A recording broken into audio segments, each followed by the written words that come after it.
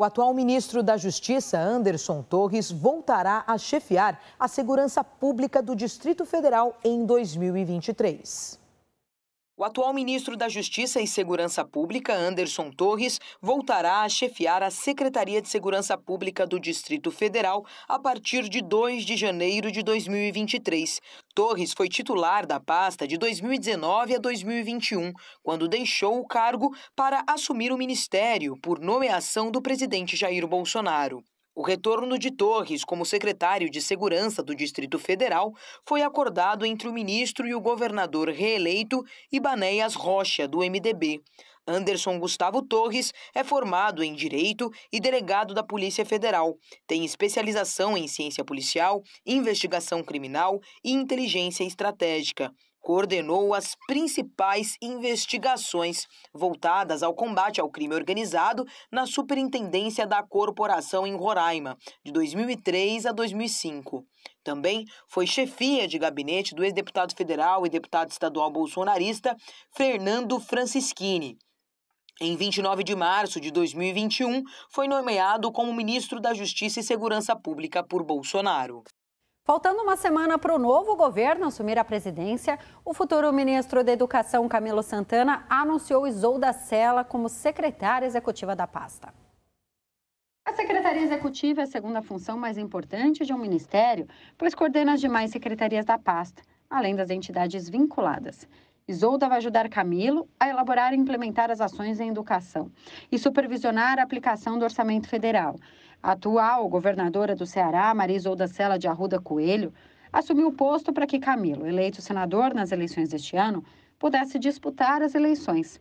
Professora e psicóloga, formada pela Universidade Federal do Ceará, Isolda tem 61 anos e é a primeira mulher a assumir o comando do governo do estado do Ceará efetivamente.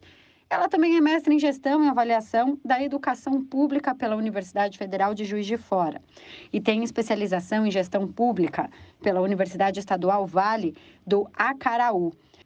Em uma entrevista hoje em Brasília, o futuro ministro também citou o nome de Fernanda Pacobaíba para fazer parte de sua equipe.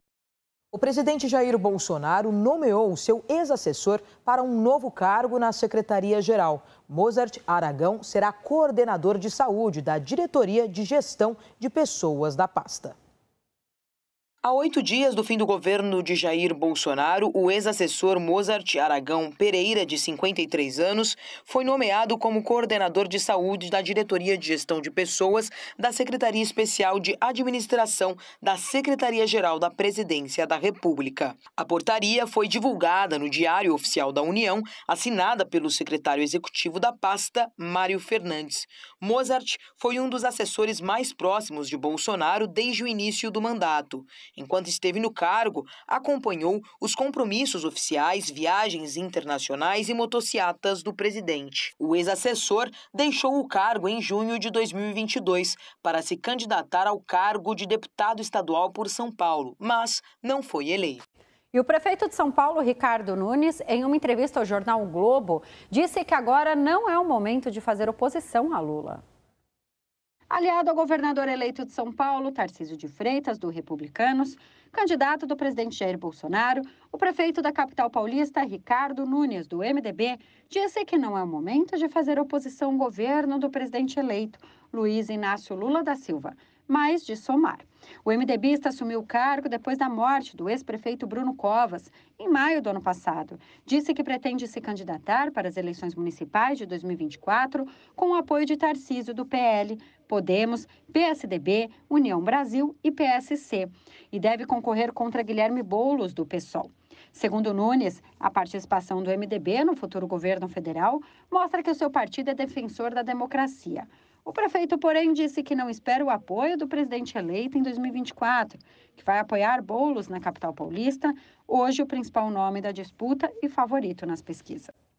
O preço médio do litro da gasolina vendido nos postos do país voltou a cair na semana passada pela quinta semana seguida, segundo dados da Agência Nacional do Petróleo, Gás Natural e Biocombustíveis. Os demais combustíveis também tiveram queda em comparação ao ano de 2021. O preço médio do litro recuou R$ 4,94 para R$ 4,93 na semana de 18 a 24 de dezembro, uma queda de 0,2%. De acordo com a ANP, o valor máximo do combustível encontrado nos postos foi de R$ 7,00. O litro do etanol hidratado caiu de R$ 3,82 para R$ 3,81 centavos, um recuo de 0,2%. O valor mais alto encontrado pela agência nesta semana foi de R$ 6,54. Já o preço médio do diesel passou de R$ 6,36 para R$ 6,28 o litro, um recuo de 1,2%. O valor mais alto encontrado nesta semana foi de R$ 7,80. Há poucos dias do fim do ano, os combustíveis seguiram cursos diferentes na trajetória de valores por litro ao longo de 2022. O etanol e a gasolina encerrarão com preços médios mais baixos do que iniciaram o ano, enquanto o diesel acumula uma forte valorização. A Petrobras tem como política de preços semelhança de preço internacional, o modelo determina que a estatal cubra, ao vender combustíveis para as distribuidoras brasileiras, preços compatíveis com os que são praticados no exterior. Segundo os últimos cálculos da Associação Brasileira dos Importadores de Combustíveis, o preço do diesel da Petrobras está atualmente 7% abaixo da cotação internacional, enquanto o da gasolina está 2% acima. E vamos falar de economia. A taxa de juros cobrada pelos bancos nos empréstimos atingiu uma média de 44,1% ao ano em novembro. Segundo o Banco Central, no acumulado dos últimos 12 meses, o juro bancário médio teve uma alta de 10,4 pontos percentuais. Essa taxa é mais alta do que a de outubro, mas se for comparada com novembro do ano passado, houve uma alta de 10,4 pontos percentuais. Os números se referem aos juros cobrados nos chamados empréstimos com recursos livres e não incluem aqueles dos setores habitacional, rural e do Banco Nacional e de Desenvolvimento Econômico e Social, o BNDES. Já em relação aos empréstimos feitos para empresas, a taxa média de juros ficou estável. Para as pessoas físicas, a taxa média foi mais alta e ficou em média nos 59% ao ano.